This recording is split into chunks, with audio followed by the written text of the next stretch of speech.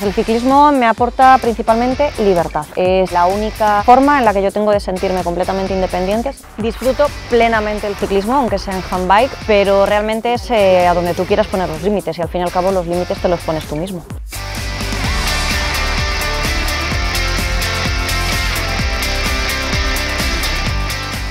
Valoro el ciclismo como herramienta de inclusión muy favorablemente. Puedes encontrar lugares y llegar a sitios que de otra forma y con otro deporte pues tampoco puedes llegar. Veo que el ciclismo es una gran herramienta de inclusión porque ahí nos permite igualarnos a todos. Una vez que rodamos, eh, todos somos compañeros, todos hacemos un equipo y eso es la mejor herramienta que hay, el ser un equipo.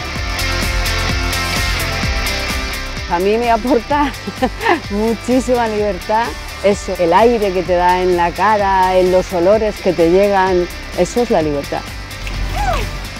El ciclismo aporta primero los valores del deporte, de superación, eh, de querer eh, llegar más lejos. Hacemos mucha comunidad, por lo cual eso ayuda a muchísima gente a encontrar ese hueco donde no, donde, que no encontraba antes.